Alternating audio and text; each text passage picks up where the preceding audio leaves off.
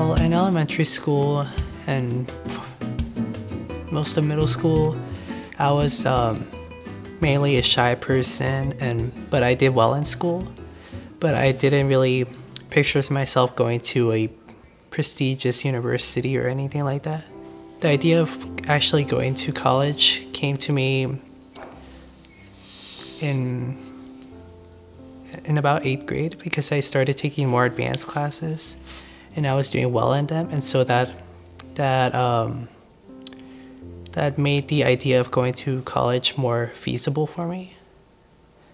I'm going to be a first generation student because my parents didn't go to to college, and um, neither did my siblings. Although my older sister had junior college, but not a university. And so uh, I don't really have anyone to hold my hand or to give me advice from my family, that is. And um, so I think teachers fill that role very nice here.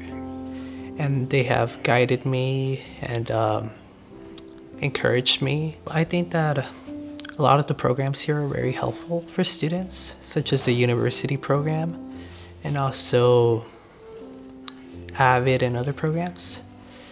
And um, also the teachers here, I believe, are very supportive. My experience with um, my teachers has been very valuable to me because they have provided a type of support that I don't really get at home because my parents didn't go to college, even though they support me and they um, tell me to to do my best and, and congratulate me on my schoolwork and everything.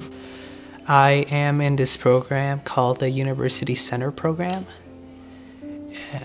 and it has encouraged me and motivated me to take AP and honors courses, which I still do. And uh, in junior and senior year, it lets me take Sonoma State courses, which has been very helpful in helping me acclimate to the college environment. And um, and just getting used to how a real college class will be like. I applied through this program called QuestBridge, which um, offers like four-year scholarships and um, for low income and students of diverse backgrounds. And I got accepted to Princeton University.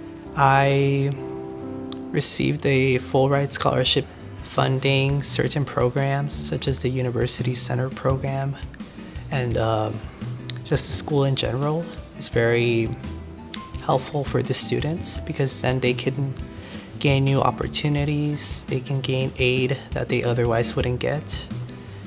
And so I think that just opens up more doors of possibility for students.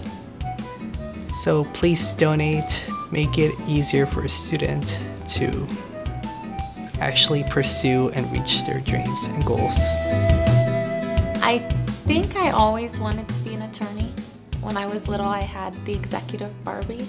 She had a blazer and a little briefcase, and she was large and in charge. And even back in junior high, high school, I knew I would want to be a lawyer, but it seemed like really a pipe dream. It wasn't that anybody ever told me I couldn't, it just hadn't been presented as something that I could actually pursue before and I didn't know the steps to take to do that.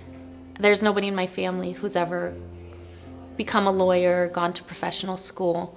People from this area tend to think, you know, you're doing really good if you just have any old job and you're not messing up your life in some way. So going on further just never seemed like something that I really knew how to do or um, felt like I could do when you're trying to reach your dreams or break out of a cycle of poverty, it is very difficult.